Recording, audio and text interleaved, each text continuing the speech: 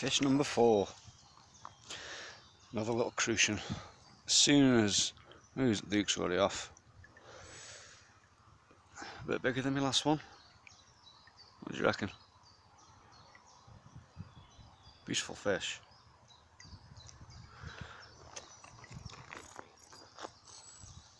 Oh, it's only about three inches deep here, so can't exactly just plonk them back in.